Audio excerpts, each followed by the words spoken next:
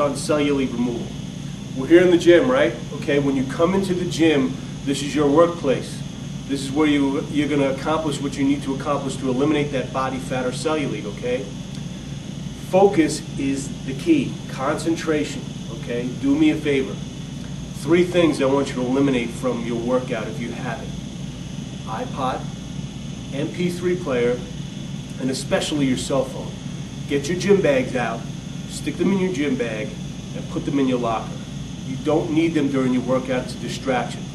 You want, to, you want to do a little experiment. Go into any gym that you belong to, any fitness facility, okay, and just observe.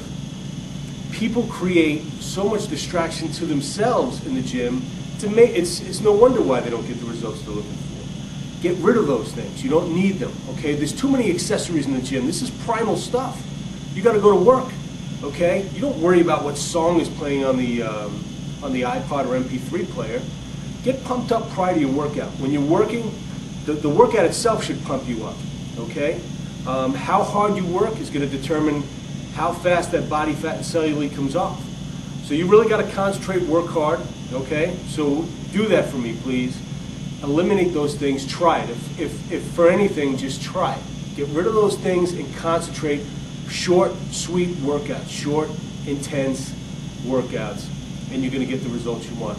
Drink a lot of water, take your vitamins, work hard, and I'll see you in the gym.